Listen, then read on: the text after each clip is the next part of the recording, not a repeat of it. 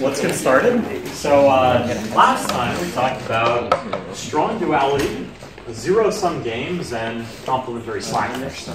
So can anyone remind me about what the statement is for strong duality? Yep. There's an optimal for the primal, must be optimal for the dual as well. Yep, yeah, exactly.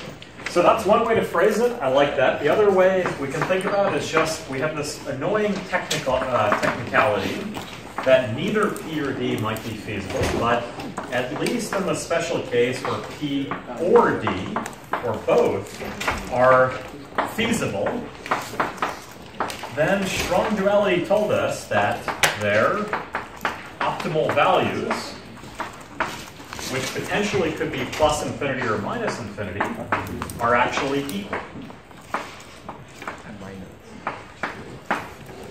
Now, in the case of zero-sum games, that was one place where we applied this, was, you know, once we had strong duality, it's a tool which we can uh, bring to bear in many different settings. So things like min-cut, max flow follow pretty easily from strong duality.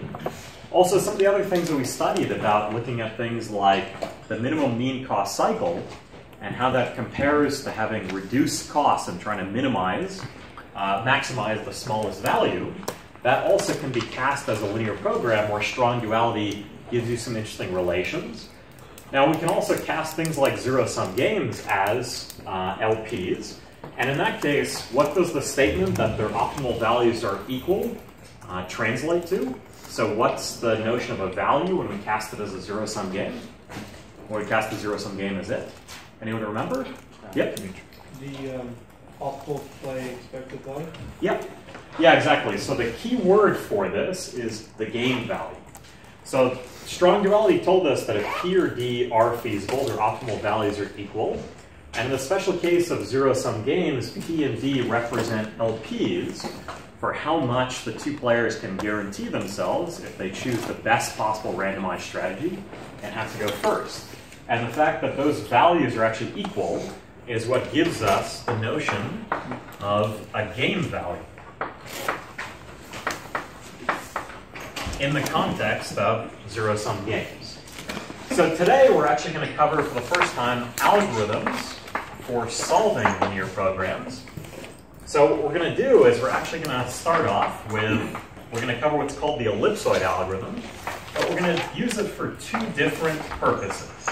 So the first one is the more standard one, as we're going to talk about how to go from being able to answer certain types of queries about a polytope or a convex set called separation questions, and we're going to leverage that through the ellipsoid method to actually give algorithms for optimizing over these convex sets. So the first part of today's lecture is going to be from separation to optimization. And what we'll do in the remaining few minutes after we're done with that is we'll actually go the other direction. So really the ellipsoid method, which is what we'll be covering today, our first algorithm for actually solving linear programs instead of just reasoning about their properties, is something which is going to give us a very powerful statement about the equivalence between two different views of what you want to do with convex sets. One is just decide whether a point is in it and actually provide a certificate that it's outside, and the other is actually optimizing things like linear functions over it. So let me be a little bit more precise about what our goals are. So the first part of lecture, we're going to be studying uh, the usual notion of going from separation to optimization. So here the setup, and this is where the ellipsoid method will save the day, is the following. So we're going to assume that we're given some convex set that we care about. And in fact, we're going to be presented with this convex set with the following guarantees. So one issue that's going to come up when we talk about doing things like optimizing over convex sets is we need some notion that this convex set is neither way too big nor too small. Because we're going to try and make progress on its size when we're trying to answer questions about it.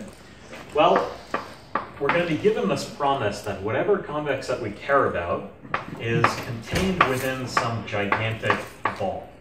You can think of this radius as being very large, something that's polynomially large, maybe n to the hundred. when the problem size is n. And all this is, it's the set of x's, let's say, whose Euclidean norm is at most r. So this is a promise that uh, whatever polytope you're given is just not obscenely large to begin with.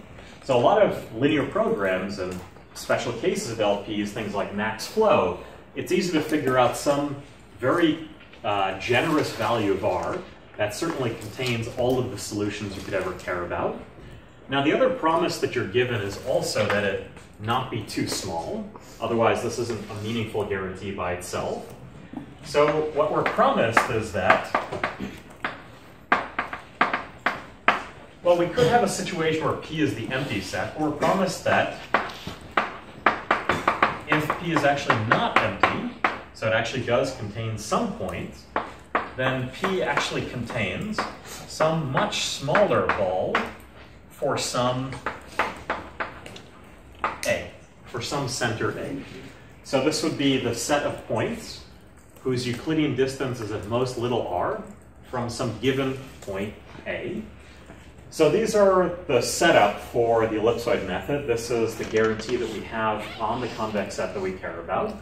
Now the other thing is that we're going to assume a powerful way of answering questions about this polytope or general convex set. You can think about asking questions like, given some point, is it actually contained within the set P? We're actually going to start off with an even stronger assumption, which is what's called a separation oracle. So not only can this separation oracle answer questions about whether or not a point belongs to the set P, but it'll even give you a certificate that it's not in P when it doesn't belong.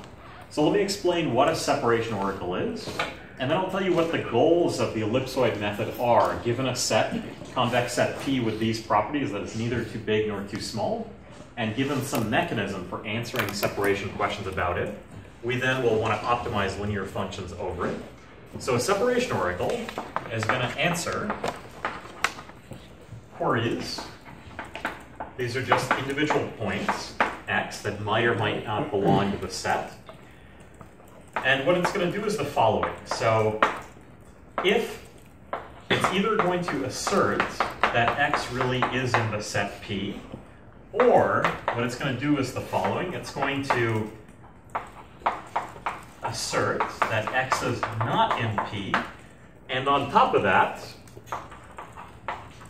it's going to give us some C. Ooh, I'm running out of space here.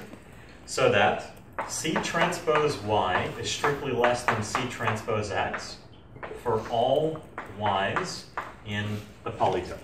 So this is a type of proof that the point is actually not in the polytope because what it's doing is it's giving us some direction, and I'll draw this geometrically in a minute, which when we look in that direction, for the given query x, we get this value when we take their inner product. And yet, lo and behold, for every single point that's actually in the polytope, we get a strictly smaller value when we take their inner product. So this is much stronger than just answering that a point is actually not in some polytope. It's actually giving us a direction which is violated that we need to move in the other direction in order to actually get close to our polytope. So does the notion of a separation oracle make sense? This is the setup for the ellipsoid method. Are there any questions about this? Yep. Uh, Isn't the second assumption kind of strong because you could have a set that's living in some subspace or something like that, right? And it won't contain it at all. Ah, so, oh, you're talking about this assumption right here Yeah. about this. Uh, Right. So that's true, but what you could be given instead is you could think about, um, uh, you could instead think about restricting the dimension of your space to that subspace, and then you would have this type of property. But that's a good point, is that, you know, if it actually is in some lower dimensional subspace, we would have to find that lower dimensional subspace, and then talk about restricting it to that set in order for this to make sense. Are there other questions about this? Otherwise, I'm going to draw what it means, what a separation oracle is actually geometrically doing, so we can get a little bit of intuition about what's going on here. So geometrically,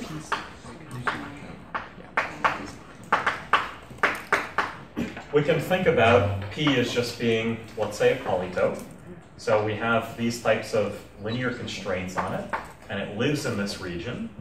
And now what happens when we're actually given some query x is it's not only going to respond that x doesn't live in P, but it's going to give us some direction C, which when we think about where C is, well, everything on one side, you know, contains x, and everything on the other side is what's going to contain p. So that tells us that actually in this direction c, we actually have a separating hyperplane that tells us that x is actually bounded away from p. So this is geometrically what's going on. Are there any? Yep. Little r, is that any value or is that a parameter of? So this will be a parameter of our algorithm. The way that you should think about this is this is the setup for the ellipsoid method. We're going to have guarantees that are going to depend on the ratio of these two things. In fact, what's going to happen is you should think about when you want to apply it to some particular linear program you want to solve. Capital R is going to be something that's polynomially big, like n to the 100. And little r will be something that's polynomially small, like n to the minus 100. So how exactly to set those is a little bit of a technical detour, but you should think about those as things for which, for reasonable problems, they're polynomially bounded, both upper and lower bound. Yep. I have a question. A question about the geometric intuition. Yep. If the hyperplane were sli- were shifted over slightly, Uh-huh. so that the just a little point of the polytope were on the other side, Uh-huh. why would it not be possible? You're talking about shifting it in this direction, though? Yeah. Uh-huh. So now you have some points in the polytope that just barely cross the hyperplane. Yes. Wouldn't they have small dot products? So might the con- how does the constraint be? So How that's does a good question. Let me clarify. So C here is a direction. So C is actually, it's not given by some you know, threshold. It's just some direction. So the point is that because as you shift along this hyperplane, until you actually reach C, you get a situation where that value is larger than any of the values earlier on that you get for the polytope. So actually, you can think about this two ways. You can think about it as either being given a direction C along with some threshold, which C transpose X is larger than the threshold, and C transpose Y is smaller than the threshold for everything that's in the polytope. Or you can think about just setting the threshold to be whatever it is for X, and then that has the property that for anything in P, it's actually strictly small. Okay. So there's actually two equivalent things, and it's good to not get confused that C here is just the direction. It's not actually an offset of how much shifted this hyperplane is. But that's a good, yep. Also, when we say that P is a subset of the uh, radius R ball, Yes. um, are we not? So are we looking at any? Are we looking at particular coset of P?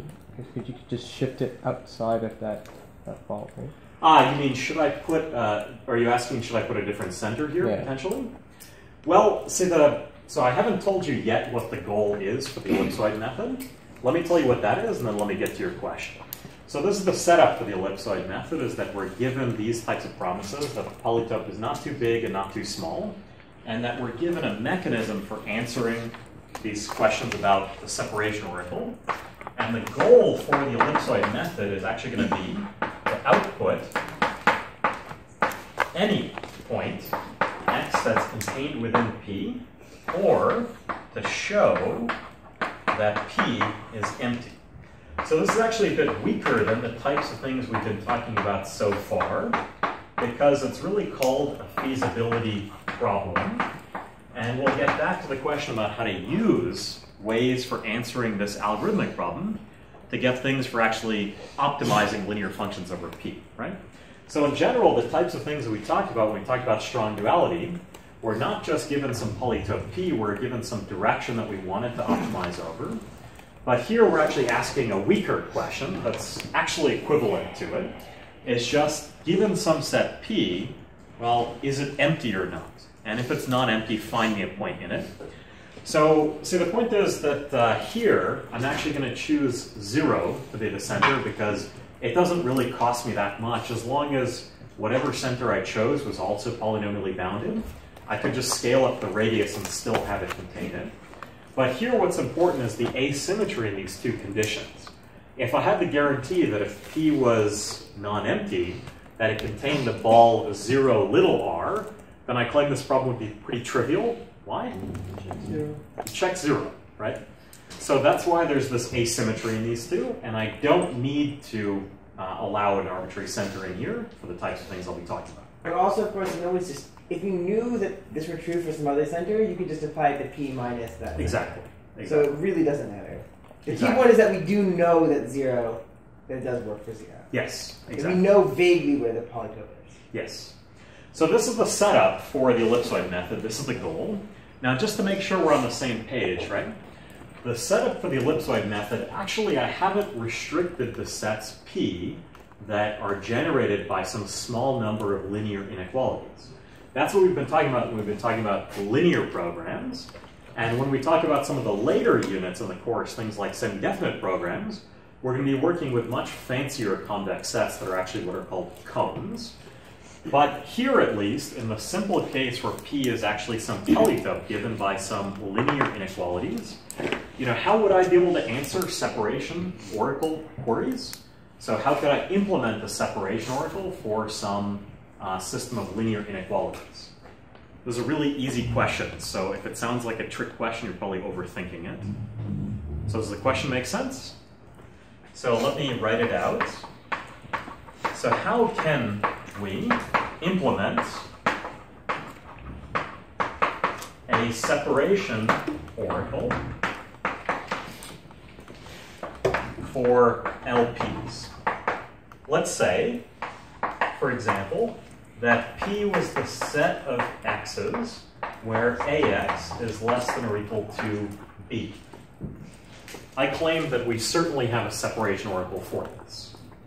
This question is way too easy, so maybe someone. Yep, Just substitute it line by line, and for one of the lines is going to fail. That's your exactly. Exactly, right? So, you know, here's how you would implement a separation oracle for this polytope. Is all you would do is you would take whatever x is, that's your query, you plug it in, you check whether ax is less than or equal to b. If it is, then it's by definition in P. And if it's not, there's some constraint, maybe more than one that's violated. And all that you would return for your separating hyperplane would be whatever the row is of A that's actually violated. That would give you something which the inner product against X is actually too large for what it should be, which is the right-hand side.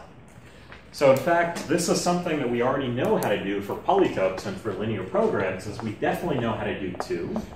The ellipsoid method is even stronger than just solving linear programs. We're going to take advantage of that strength much later in the course. But the strength of the ellipsoid method is that even for convex sets that are not linear programs, as long as you have a separation oracle, which linear programs definitely do, you'll be able to get all the way to being able to answer feasibility questions for them, and eventually being able to optimize linear functions over them too. So that's the setup, and that's the main goal for today. So does that make sense? Any questions about it? So let me tell you what the plan of attack is.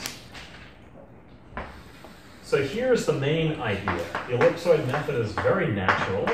It was actually introduced as a heuristic for trying to solve linear programs and other convex programs much before it was actually rigorously analyzed to show that it actually does solve linear programs in polynomial time.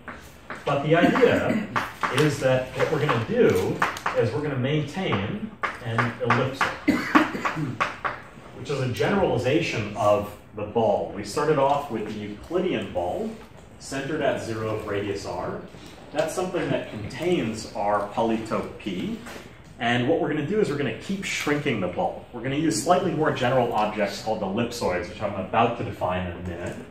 But the idea, at least for the ellipsoid method at a high level, is just to maintain an ellipsoid, which I'll call EK, that contains whatever convex set P we care about. And what we're going to do is we're going to reduce its volume in each step.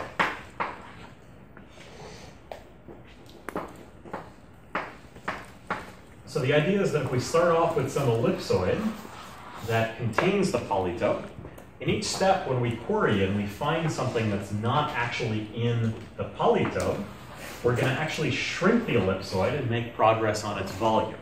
So this is where capital R and lowercase r kick in, is because we started off with something that was not too big, and we know that if we end up with an ellipsoid that is way too small, that by virtue of this promise, we know that we can just jump to the end and say that P is definitely empty because the thing that contains it has way too small a volume. So that's the high level idea behind the algorithm. Let me define precisely what an ellipsoid is, because that's going to be the workhorse for the ellipsoid method. So what is an ellipsoid? So an ellipsoid is very natural. If you think about it pictorially, you would end up with this type of definition. This is just the linear algebraic way of stating what it is. So what you do is you start off with some center and some matrix capital A. And what you're going to do is you're going to look at all of the points x where x minus the center, that's quadratic form on A inverse, is at most 1. So little a is the center. And you can think about, at least in the special case where A is the identity matrix, what do I end up getting if I plug in capital A is the identity matrix? What is the ellipsoid then? Another name for it? It's the, yeah, it's the ball at center A of radius 1.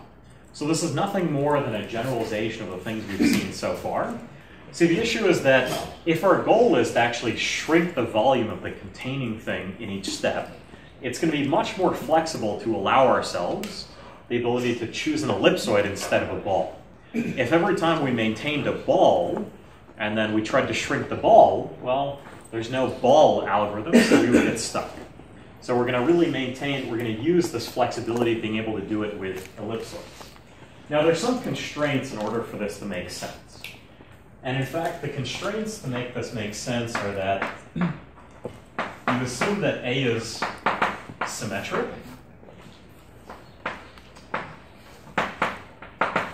So A is A transpose. And you also need a constraint that A is positive definite. So let me tell you what that means. We just need that X transpose, inner product on X, is strictly positive for all X's which are not zero. So this is a term that we're actually going to be using a ton when we go into things like semi-definite programming later. This is the first time we're seeing it. It's just the constraint that all quadratic forms of non-zero vectors themselves give you something strictly positive. So this is something which the identity definitely has. And if you were to take any diagonal matrix, what you're really requiring in order for it to be positive definite is that the entries along the diagonal should be strictly non-negative, so they should be strictly positive. And in general, this is how you define an ellipsoid. So are there, yep? Why did we just define this for A rather than just choosing something Uh, why do we, oh, you mean, why couldn't we just put an A in here? Yeah. So that's fine. It's just that uh, you know if you think about let's let's think about a special case. So let me answer this right. So just as another example, if we want to choose the ball centered at zero of radius r, so what we're going to do is we're actually going to choose the ellipsoid, obviously centered at zero, but of where the corresponding A matrix is r squared times i. Because when we plug in r squared times i for a, then we get for a inverse is 1 over r squared times i. And then we pull the r squared over here and we get the usual, you know, the Euclidean norms at most r. So the reason we have this funny business, that's a very good question, about going from a to a inverse is that what we're actually doing is that when we dilate this matrix A, we're increasing the size of the ellipsoid. So it's to be natural in that regard that you should think about this matrix A as really representing you know, how big the ellipsoid is. And then scaling by a coefficient works the way you would expect, instead of in the opposite way, which is what would happen if we plugged in A directly in there. But great question. So this is the notion of an ellipsoid. You should check that it meets you know, your own intuitions about what an ellipsoid is, but this is the definition of ellipsoid. This is what we'll be working with. So now I can tell you, now that we've developed at least some of the language to talk about the ellipsoid method, I can tell you what the outline of the algorithm is, modulo one step. So here's what the ellipsoid algorithm is. And the rest of today will just be focused on proving that this really does work, building out from special cases. So here's the ellipsoid algorithm, just formalizing this intuition and this idea. So we're going to initialize our starting ellipsoid E0, and we want all of these ellipsoids to contain the convex set that we have, that we're trying to find a point within. And what else would we initialize it to, except for the ball that we know contains the entire set P? So we start off with an ellipsoid, in fact, a ball, whose volume is not way too large. And what we're going to do is we're going to keep trying to shrink. So each time, from k to m, where m is some number of iterations that we'll get into how to actually set that later, as we get into the proof behind the ellipsoid method, it'll just fall out. Well, the idea is that what we're going to do is if our current guess for the ellipsoid has some center, a, k, and some matrix, capital AK, and if this is the current ellipsoid, then what we're going to do is we're just going to query the separation oracle, the thing that we talked about how to implement when we actually had a linear program that was immediate how to do it, but we can do it also for other convex sets too. We're going to query the separation oracle at the point AK. Now, what we do here is pretty natural. So, you know, if AK actually belongs to the polytope P, well, what should we do? Find another. We should just output it, right? So this is important because here what we're talking about is just the feasibility question. We'll get to the question of actually how to optimize linear functions over P later on. But since our goal is just to solve the feasibility problem and find any point, well, if the center belongs to it, then we're great, right? And the intuition behind choosing the center is kind of obvious, is that the current polytope we have is contained entirely within the ellipsoid. So we're querying a very deep point in the ellipsoid so that if that point belongs to the polytope, we know we're done. But if it doesn't, we can make a lot of drastic progress in shrinking it because we know an entire region in which the polytope does not live, and that gives us room to actually try and shrink the outer constraint on the ellipsoid. So if AK actually belongs to P, then we just call it a day, we can output AK, and life is simple. And otherwise, what we need to do is if we're given some answer, CK, which recall that um, you know when we talk about asking questions to a separation oracle, well, either we get the, the answer that actually the oracle asserts that AK belongs to P, or when it doesn't, we actually get a proof in the form of a separating hyperplane that it doesn't belong to P. So if we were given some answer CK, which is when the separation oracle returns no, the point is not in the polytope, we actually use what direction it's away from the polytope to try and make progress so that we can shrink EK. So what we're going to do, and I'll tell you how to actually do this and fill in the details in a, in a minute, but what we're going to do is we're going to find some new ellipsoid EK plus 1 that contains the polytope P intersected with all of the x's for which CK transpose X is, well, strictly less than CK transpose AK. So we're some way, somehow, going to find an ellipsoid which actually, first of all, it contains all the region that we now know our polytope lives within. Initially, when we started off with this outer ellipsoid, the polytope could have been anywhere within this outer ellipsoid. But once we have the separating hyperplane, we know that the polytope actually lives in this upper half of the ellipsoid. We're going to find a tighter ellipsoid, EK plus 1, that contains the new set. Now, the key thing about EK plus 1 is that we're going to want that its volume, that the way that we actually go about finding the CK plus 1, which I'll fill in the detail in a minute, actually makes a lot of progress on the volume. That's the heart of why the ellipsoid method works. And, oof, really running out of space here. And otherwise, if you get through the entire algorithm and you don't actually find any point by querying the sequence of centers through the different ellipsoids, well, by virtue of the fact that the ellipsoids are making a lot of progress in their volumes, and based on the way that we'll set M, you'll have reached a contradiction and you'll have shown that too small a volume ellipsoid contains the polytope, and hence you can actually assert that the polytope was empty to begin with by virtue of that promise and the setup of the problem that it's neither too big nor too small. So this is the ellipsoid algorithm. Does this make sense as a high-level goal? Any questions about this, or does it not make sense? Good? Yep. So this is this only the first part of it? Is there another optimization phase that's going to happen? Or is this just satisfied?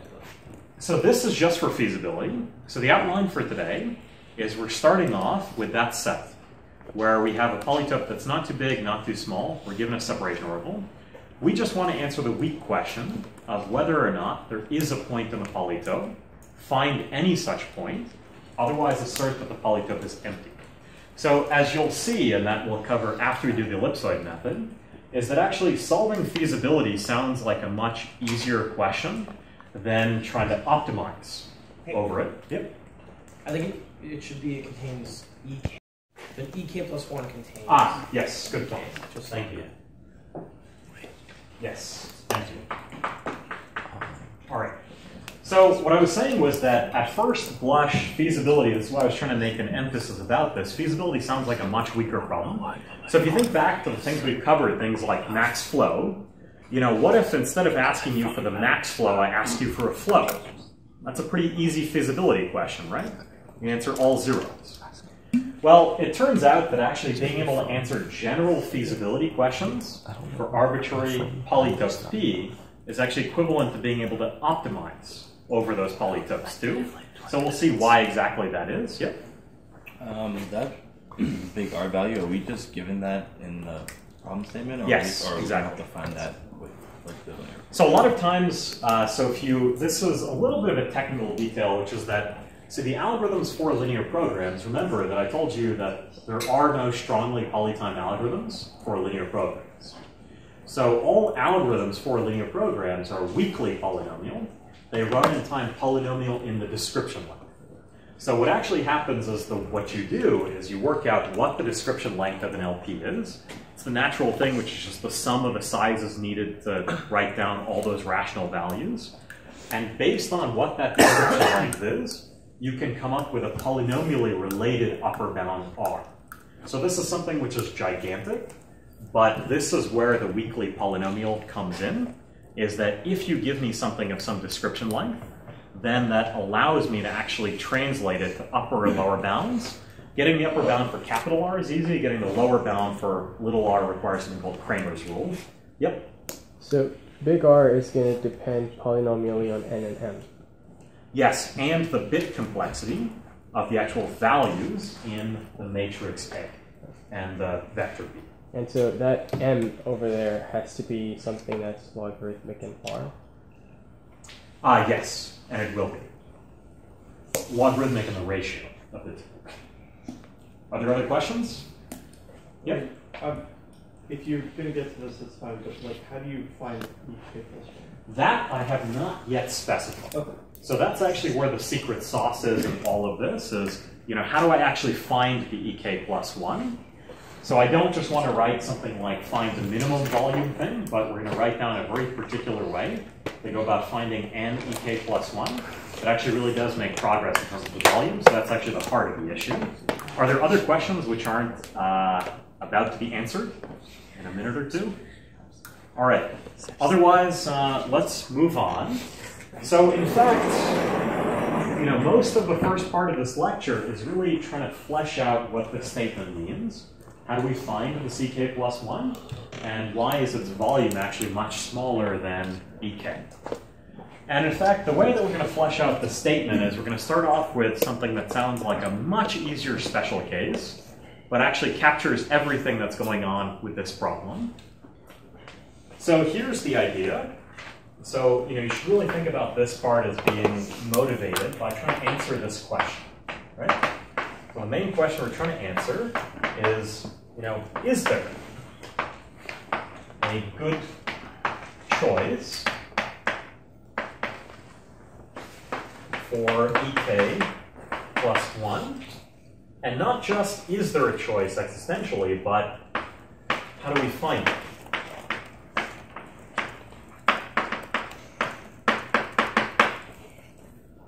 So I promised you a special case that actually sounds embarrassingly easy.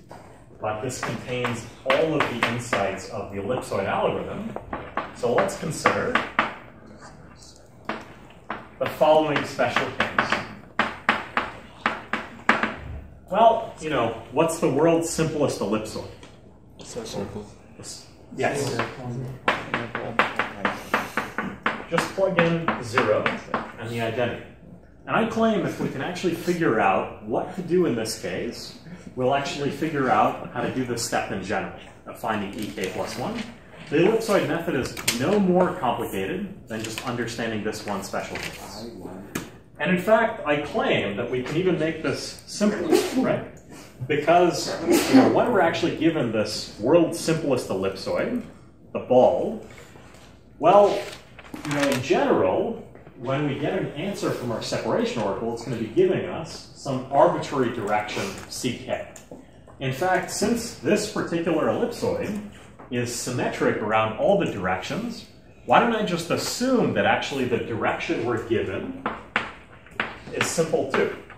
So without loss generality, I'm going to set ck to be minus e1. So E1 being the standard basis vector that has a 1 in the first coordinate and zeros everywhere else.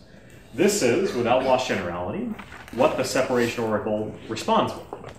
So let's just try and understand this really simple special case where we have a ball and one of the standard basis vectors is actually the direction of separation. Yep. Uh, I see the algorithm. Once once you have this ellipsoid, why, why is it why is it important?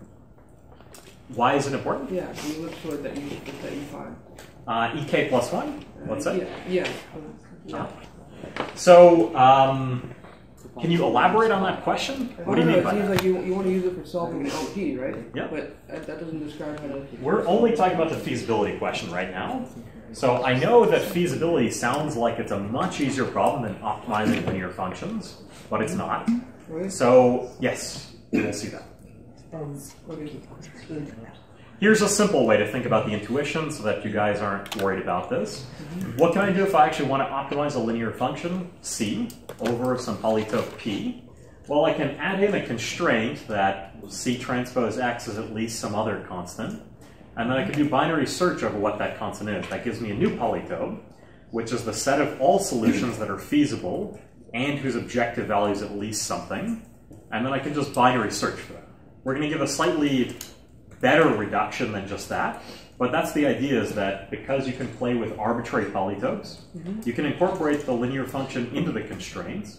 So feasibility really is the same as optimization. So for the time being, bear with me that feasibility is an interesting problem, even though it sounds trivial in the examples we've seen so far. So X is feasible for the LP. then? Yes. Okay. Yeah, sorry. exactly. Are there other questions about this? No? All right. So let's move on to the special case. So we start off with the world's simplest ellipsoid, and we have this direction of separation, minus E1. And in fact, you know, let's do the following. Let's just guess the answer, right? So if you think about it pictorially, just to make sense of what you should do, you know that in this polytope P, that all of the first coordinates x, x1, are non-negative. So what you're going to do is you're going to create a new ellipsoid that's not going to treat all the coordinates the same like the starting ellipsoid does, but it'll shift its center slightly along the x1 side and then be able to shrink some of its different diagonals. So let's just guess the following solution. And this is exactly what the solution does. I'll call this E prime. We're going to let it be the set of x's where we're in n dimensions. So what we're going to do is we're going to have the following constraints. So my new center, actually in the x1 coordinate, is going to have a center which is 1 over n plus 1. And the key thing is that this thing that's multiplying it is actually strictly larger than 1. So that's what's allowing me to shrink slightly the axis along just the x1 direction, is that the range of values that I can allow in x1 around this center, 1 over n plus 1, is now strictly smaller than 1, what it used to be. And we have to compensate on the other directions. So we're actually going to make those principal radii a little bit larger than 1. So we have the constraint that for all of the other coordinates, the sum of the xi squared, now times n squared minus 1 over n squared, so something strictly less than 1, all of this is at most 1. So this is definitely an ellipsoid, and it's doing the right thing in the sense that it's moving the center. Instead of the center being all zeros, the new center is what? What's the center? 1 plus 1 and 0. Yes, 1 over n plus 1 and all zeros. So it's shifted. Sorry, what? We should be squaring the x1 term as well. Ah, my mistake. Yes, thank you. The new center is 1 over n plus 1 is the first coordinate, and then all zeros. So we've moved the center slightly in the direction that we know that the entire polytope is contained in. So it kind of looks like that picture. Now the rest of the thing is actually showing that E prime works. So what are the two things that we would have to show that in order for this to be a good choice of E prime? Yeah. Where's the question? What is n? n is the dimension. Uh,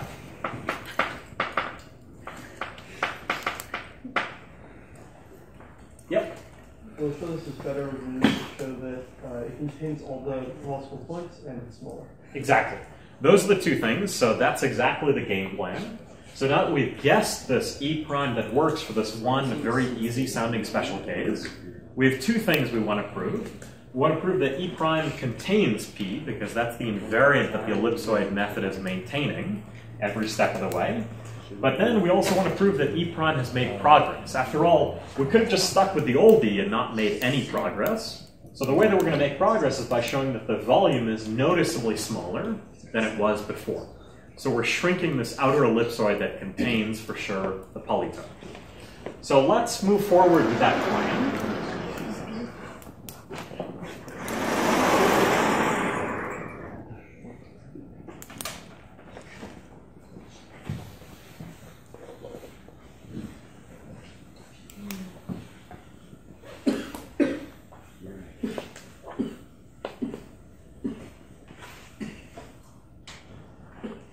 So the plan will be exactly as you said.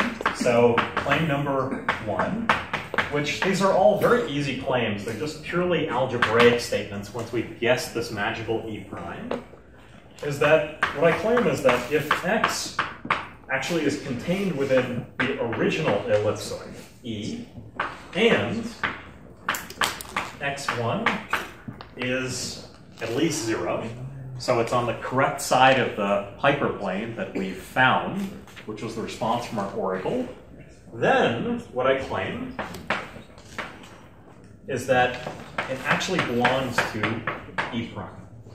So this is the way that we're going to execute a statement like this, is that this would be our E, and this would be our E prime, and we want that every point in this original ellipsoid intersected with our hyperplane, which is now minus E1 transpose times that, well, better have, uh, better also be contained in the new ellipsoid. Yeah. Did you mean to subscript that x over 1? Uh, did I mean what? The subscript x over 1? The first So, like, coordinate is that of x the same x as the one in E? X1 is the first coordinate. X1 is the first Oh, coordinate. first component. Okay. Yes. So another way to write this, just to be clearer, right, is that this is the same thing as uh, E1 transpose times X, right? Which then we're really getting minus E1 transpose times X. That's our CK. So this is the way that we actually implement our separation oracle, is that it's just picking out a single coordinate. So this is a little bit easier because of this without loss generality statement I made, because the ellipsoid we started off was symmetric to begin with. But this is the first claim, so that's implementing the first idea. And then we'll show that it actually does make a lot of progress. The proof of this claim is actually pretty boring. Because what else would you do but plug in the x and actually see that it works? A lot of the hard part is actually done just by guessing that e prime is the right ellipsoid. So this will just be a purely algebraic manipulation. And, well, now we get back to our favorite. Anyone ever called this the FOIL method when they were uh, when they were first learning it? We're going pretty far back, right? I don't even remember what FOIL stands for. That's like inside last. Sorry. So, everyone loves doing FOIL because it's so easy. And we're going to have the x1 squared term. We're going to have the cross terms, which we've canceled one of the n plus 1s in the numerator. And then we end up getting 1 plus, uh, plus 1 over n squared. Now, the important thing here is actually recognizing what these terms mean and actually giving an interpretation based on that. So this term is nothing more than n squared minus 1 over n squared plus 2n plus 2 over n squared. That's just rewriting it. Uh, But- two? Oh, sorry. two. Yes, so the 2 from the cross term. Uh, now, the important thing is actually just recognizing what this term is, because what are we going to do? We're going to match this part of the term, which carries an x1 squared with it, with the same term, which has the summation i from 2 to n of xi squared. And now, when we if we add the second term in,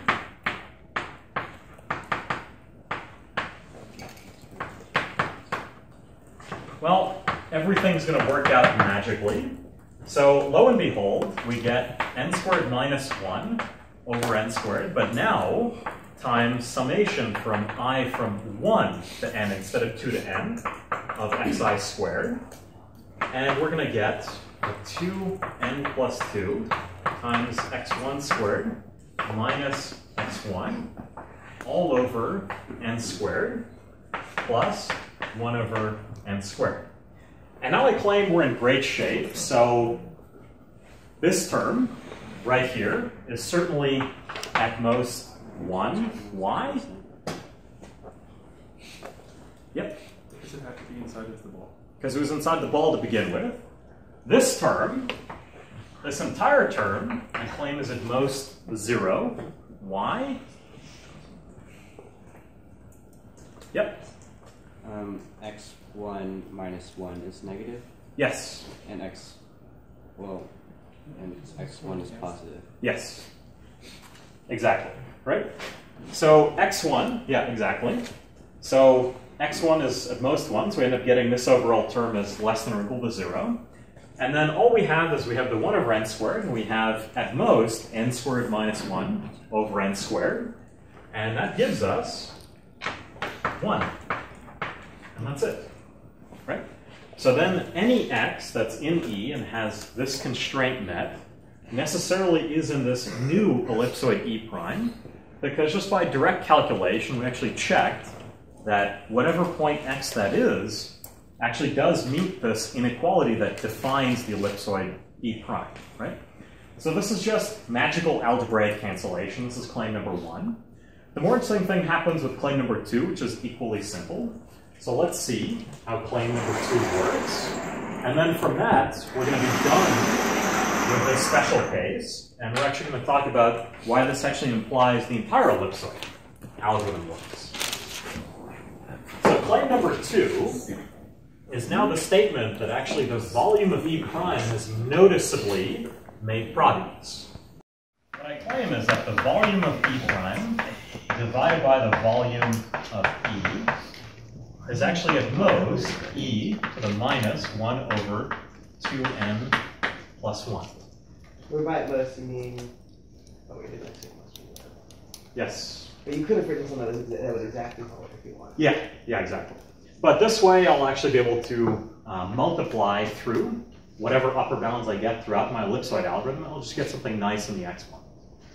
Now, in fact, the other thing is that in high dimensions, there are all these annoyances about what the right coefficient is when computing the volume of something.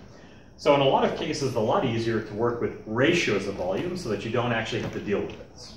You know, when you talk about the volume of the ball of radius r, you're going to get an r to the n term, but you're going to have some annoying terms in the front that come from the fact that the volume of, of radius 1 ball is not 1, right? So instead, we're going to ignore all of these issues by looking at the ratio of volumes. And actually,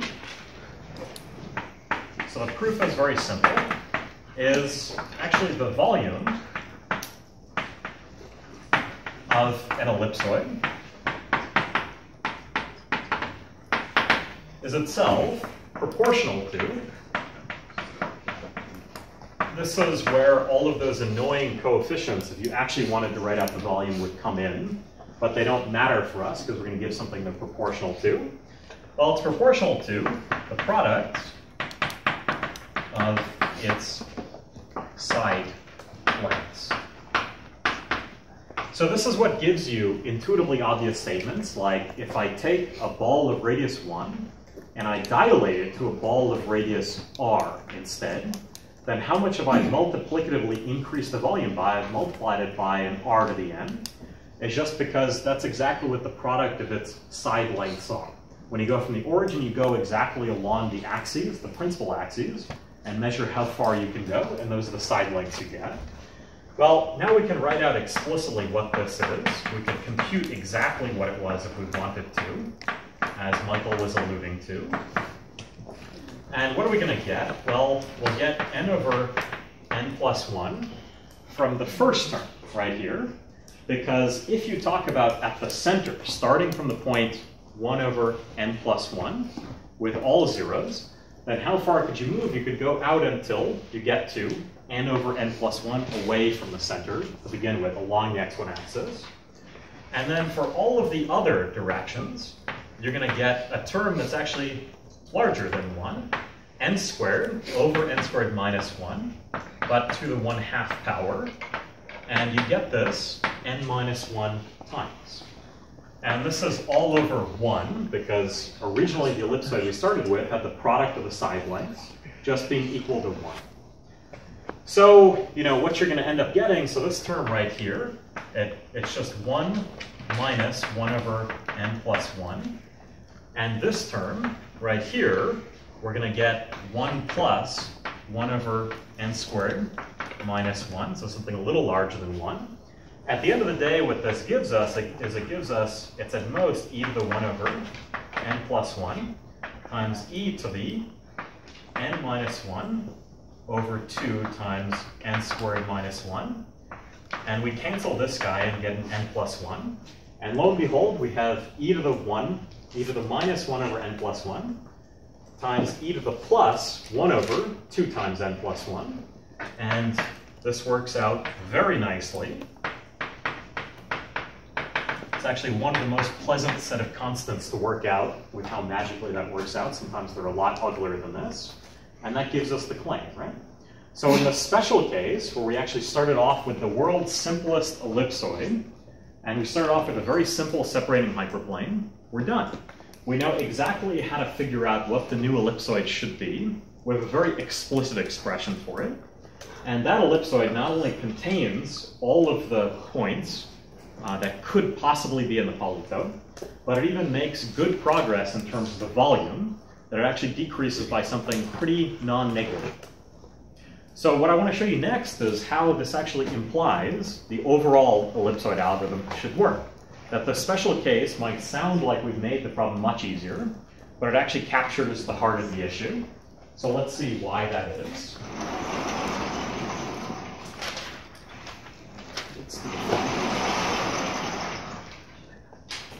I think I'm going to erase claim one since that's something we're definitely not going to need.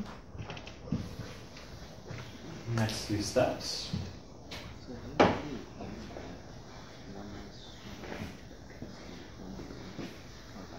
All right, so now on to the full ellipsoid method, right? So we have this general case, which is, we in general start off with some ellipsoid at some center little a with some matrix capital A. Yep. So is it possible to draw a diagram of what's going on? Because my intuition is that this volume ratio should be bounded by a half. Is that not the case? Uh, so here, right? So what's going on is we have this ellipsoid, uh, E prime, and what we're doing is we're looking at, you know, it's all of its axes. I mean, I've drawn this not really to scale. Oh, and the dimensionality. Yes, n is the dimensionality. The point is we're looking at what the side length is along the coordinate x1, which is the thing that's actually strictly less than 1, because it's the region which we've actually moved the point along the center. So the center is no longer at all 0, but it now is at 1 over n plus 1 and all zeros. And then we're multiplying it by all of these different side lengths that are now larger than 1. And those go out of the board too because we're in higher dimensions. That's why we have this n minus 1 in the exponent. But the point is that even though this term becomes larger than 1, this term becomes smaller than 1 and overcompensates for it. And that's why we actually get this e to the minus 1 over 2n plus 1, is things have magically worked out. So that's pictorially what's going on. Yep. Do we actually need to change the other axes? Why can't we just shrink along one dimension and then leave all the rest? So, would it, well, not, be, would it not be an ellipsoid? It would. It wouldn't necessarily contain it.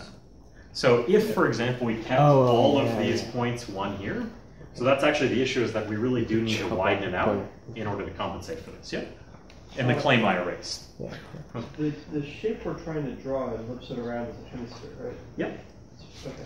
So we compress it a little bit along the hemisphere axis and stretch it Exactly. along. That's exactly right. See, the reason is that we could have just worked with a hemisphere and that could be our out of bounding object, and that would be tighter. it'd be a But then we'd start getting much more complex objects. So the idea is to keep starting from scratch each time with a simple object, which is an ellipsoid.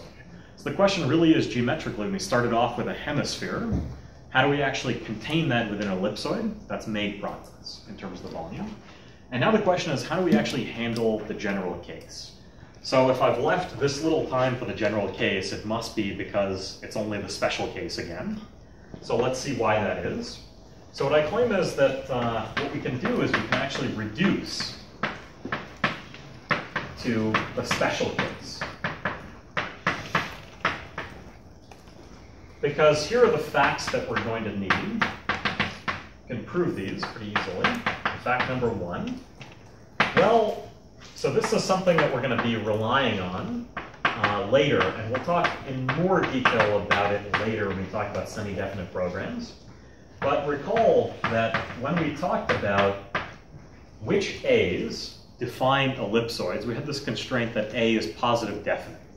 This was that if you take any, so A is symmetric, A equals A transpose, and if you took any non-zero vector x and looked at x transpose AX, that the resulting quantity you would get would be strictly positive. That's the notion of positive definite that we had up there when we talked about ellipsoids. But actually, it turns out there's a very nice if and only if statement for when this holds, is it holds if and only if A is the product of two matrices, B transpose B, for some invertible. See, the idea here is if I wanted to prove to you that some A was positive definite, then if I gave you this form, B transpose times B, and that actually, lo and behold, gave me A, then it would be immediate that A is positive definite, right?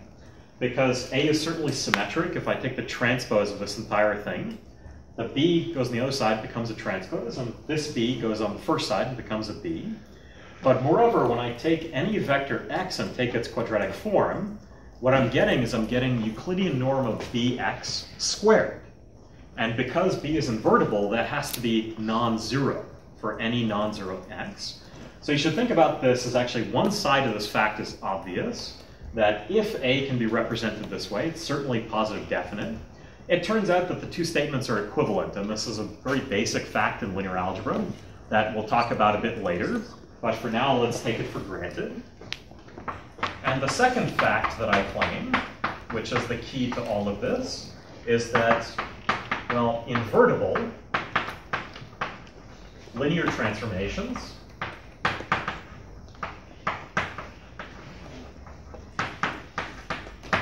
they actually preserve volume ratios. So invertible linear transformations, think about something just like dilating different axes. Well, that certainly changes the volume, but the key point is that when you take two bodies and you actually apply the same linear transformation, you don't actually change the ratio. So what you do to the volumes of those two things is actually the same.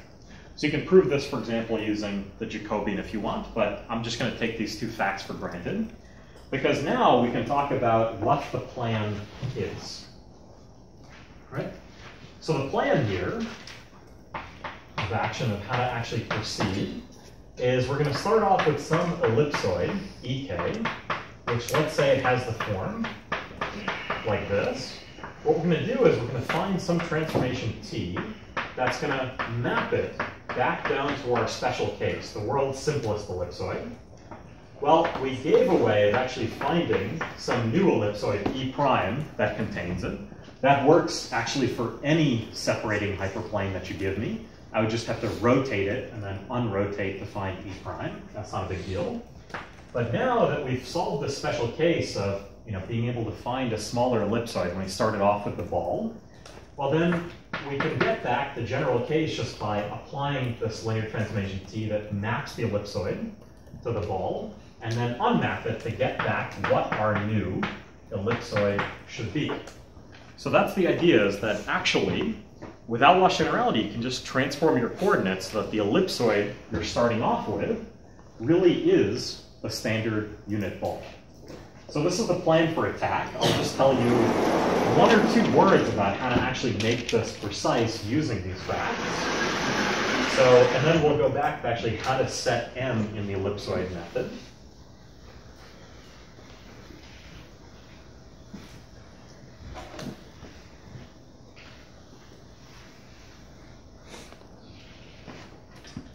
So, the way that we're going to make this precise now is that we can do is we started off with this matrix capital A, which by assumption is B transpose B because of this fact, because of fact number one.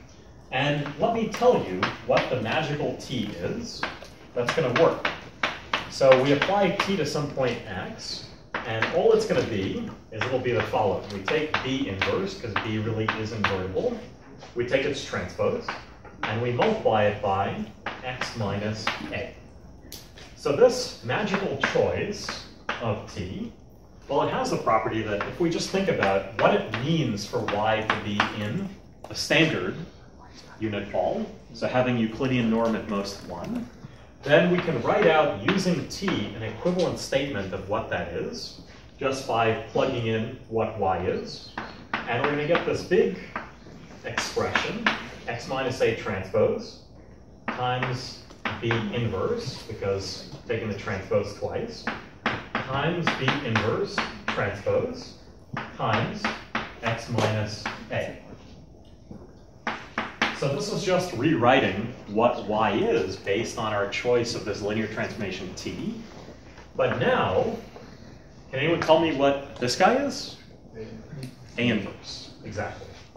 So this is A inverse. So this is our standard ellipsoid constraint. This is the constraint, E of little a, capital A, and we've now figured out a linear transformation to apply to points so that being in that ellipsoid is the same thing as after the transformation being in the standard ellipsoid. And now that finishes the entire thing because we've actually created a linear transformation that preserves volume ratios, and that allows us to actually implement this plan. So the only thing that remains is that, you know, putting it all together,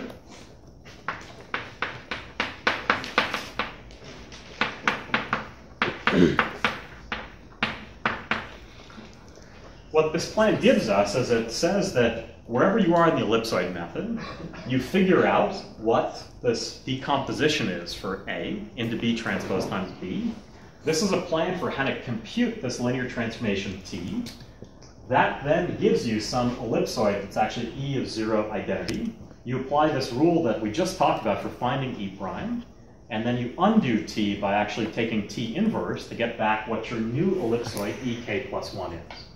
Because of fact two, because these linear transformations preserve volume ratios, that tells us that actually now, given a general ellipsoid, we really have solved this problem of finding a new bounding ellipsoid that not only contains EK intersect the region where the polytope must lie, but we've also done so in a way that this new ellipsoid has volume that's actually at most e to the minus 1 over 2 n plus 1 times the volume of the old one. So the only thing that remains is actually how to set m for the ellipsoid method. So let me tell you how we can set it, and let's see why exactly this works. So let's set it to be n squared natural log of the ratio. Remember that these ratios are gigantic now because they depend on the description length of, you know, for a problem. Actually exponential. Then what we're going to get when we actually plug in this value of an m, well, at the end of the day, what we have is we have that, you know, if we've gotten to the end of the algorithm, the volume of em over the volume of E0 is itself at most e to the minus 1 over 2 n plus 1 times this m value. So, you know, n squared, natural log r over r. And let's put a constant c in front there. And so what we're going to get is at the end of the day, we're going to get the ratio of the two to something like 2 to the n we set the constant right. So now we're in great shape. So can anyone tell me why we're done? Why we know that when we finish the algorithm, that the ellipsoid method didn't not find something because there was something and it failed, but because it really is empty. So how can we finish up? Yeah. So now the volume of EM is smaller than the ball of psi with radius r. So exactly. it can't be a superset of. Exactly. Exactly. See, in this constraint that we had in the setup of the problem, if the polytope is non-empty, then we know that it contains some ball of radius little r. The ratio of the, the, the, big, poly, the big ball containing it to the small ball that's guaranteed to be within it if it's non-empty is at most capital R over little r to the n, but now we've gotten something that's too small as a result of this. So what this means is that uh, if the original polytope was non-empty, then we know that P, by definition, contains this ball, be a little r, and that implies that the volume of EM, if it's non-empty, over volume of E0 is itself at least this ratio. So now actually we we actually have successfully concluded, because we've gotten a smaller ratio than these two things, we know that the polytope actually must have been empty, and that's how the ellipsoid algorithm works, right? So this finishes the proof of the ellipsoid method. Are there any questions about this? Yep. I think you found this earlier, but uh, you need to know little r in order to know how many iterations yes. to do. Yes. So it seems like this can't possibly help you have a certificate for feasibility unless you actually know R. And it seems like a certain People keep asking me this question. We're going to put it on the PSET. Okay. So what I claim is the following. Uh, I mean, if you guys are surprised by it, it's a good thing to work out, so maybe it wouldn't be a bad thing. But you remember that uh, the I said that for linear programming, we don't have a strongly polynomial time algorithm. So any algorithm actually itself has to depend on what the bit complexity is of representing the problem. That has to do with what the dimensions of A are, and what the bit complexity is of writing down each one of those values in A and each one of the values in B. So now where capital R and little r come from is it's not hard to prove that if you started off with some polytope with, you know, ax less than or equal to b, that you could work out really generous values for capital R and little r that allow this to run in polynomial time. So essentially, if you have some bounded bit complexity A, then any x that you get also can't be have arbitrarily small values. But maybe we'll put that. So this is modulo the issue brought up that got brought up earlier. That if the answer li- like if the polytope is restricted to some subspace, Yes. then you also have to restrict that Exactly. subspace. So, it's that's a little got bit of a technicality. So why don't we do the following? Let's take any questions about capital R and little r offline for the time being. Uh, any other questions? Yep. Um, so we said that uh, fact two says if the linear transformation is invertible, then it preserves the volume ratio. Right? Yes. Um, so when you go from E to Uh-huh. E prime on Yep. the reduced case, Yep. um, that's not a linear transformation, right? That's you're Nope. you're messing with the. But that's the thing about that is our constructions. We gave a direct construction given E of 0i and any separating hyperplane, how to actually produce E prime. Okay, so when you apply T inverse on both, Yeah. So there's no T on that arrow. That's actually the special case Yeah. that we talked about. All right, so this is taking a bit longer than expected. So let me at least tell you what the reduction is from feasibility to, uh, from optimization to feasibility, and then we'll end there. So maybe we'll do the remainder some other time. So let me tell you about this reduction from feasibility to optimization. And that'll at least give us half of the story of how we can go from separation, not just the feasibility, but the optimization.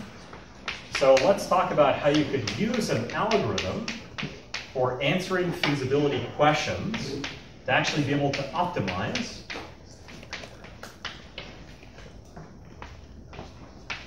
over the same types of sets. So I'm going to give you a slightly more clever reduction than the one that I sketched based on binary search, but either of those are pretty good. So what we're going to do is we're going to check feasibility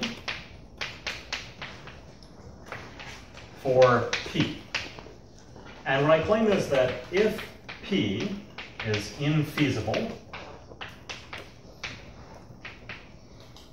we're done. Right? Because there's no function to be optimized because the polytope is empty. So we can just call it a day, right?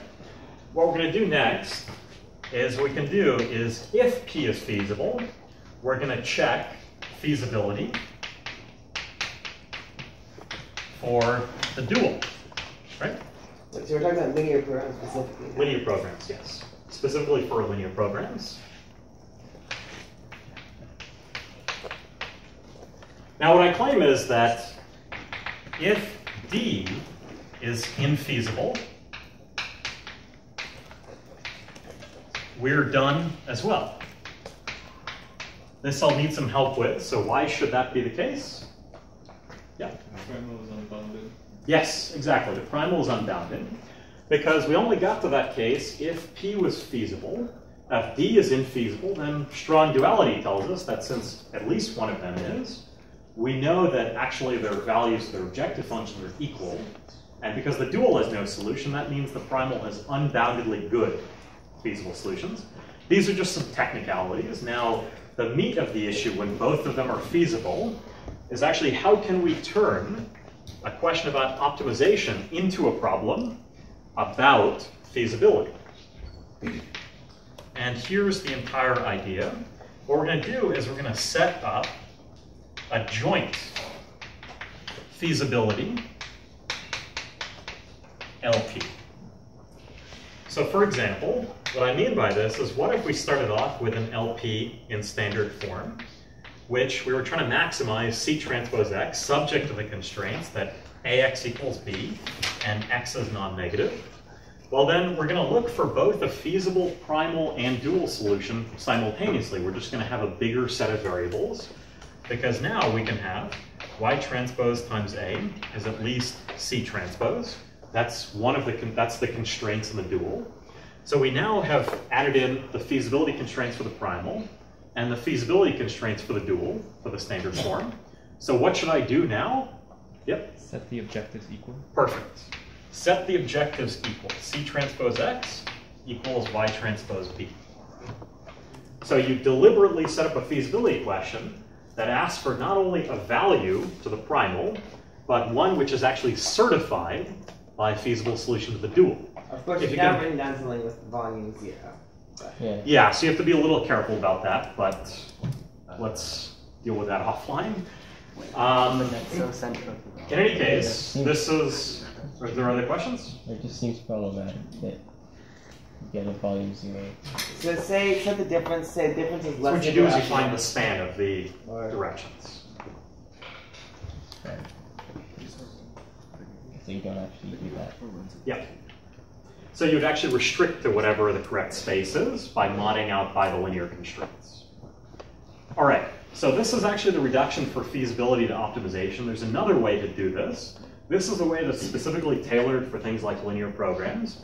What you could do instead is the way that I sketched, which is that if you had good algorithms for actually solving feasibility, one thing you can do is you can just take the objective value and put it into the constraints explicitly by asking for something, which you ask a feasibility question where x is feasible, and c transpose times x is at least some threshold t, and then you just binary search for that t.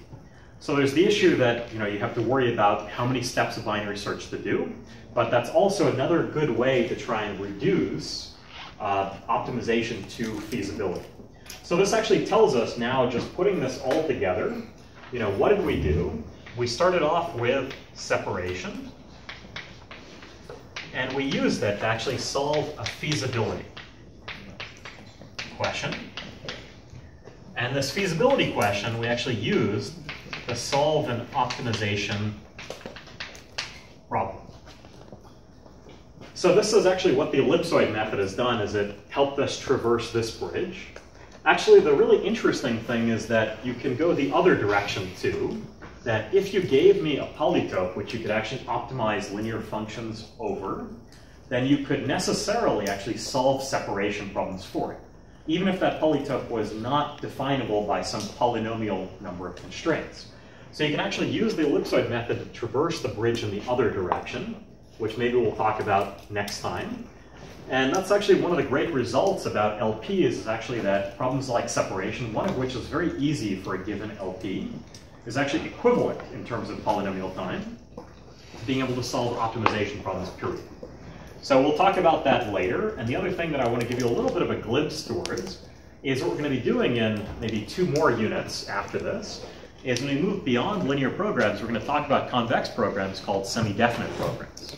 Those are things which P is no longer definable by some small number of linear inequalities, but will in general have other types of richer constraints. So we're going to study how to use the ellipsoid method to solve semi-definite programs. It'll be immediate. But then we're going to study how those types of fancier convex programs can be much more powerful at designing approximation algorithms. So that's a little bit of a preview of what we're going towards in some of the later units. All right, so that's it. So I'll take questions.